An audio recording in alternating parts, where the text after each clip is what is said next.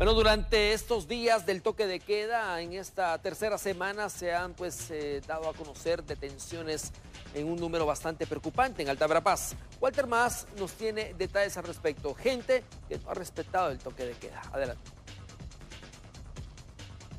Alta Verapaz es uno de los departamentos en donde se ha efectuado más capturas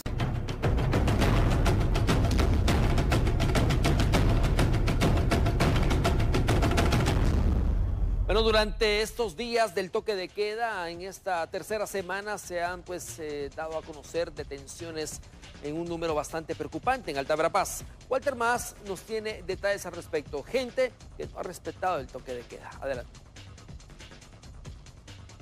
Alta Verapaz es uno de los departamentos en donde se ha efectuado más capturas por no respetar toque de queda, según estadísticas que maneja la Comisaría 51 de la Policía Nacional Civil de la cabecera departamental.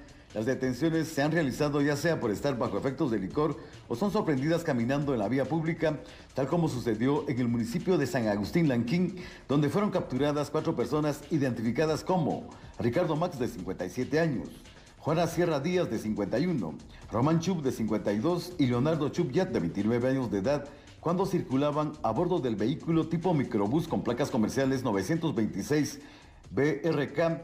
Estos infringieron el decreto 9-2020 por disposiciones de las autoridades de gobierno. Fueron puestos a disposición del juzgado de paz local en donde tendrán que solventar su situación jurídica. Desde Alta Verapaz reportó Walter Más.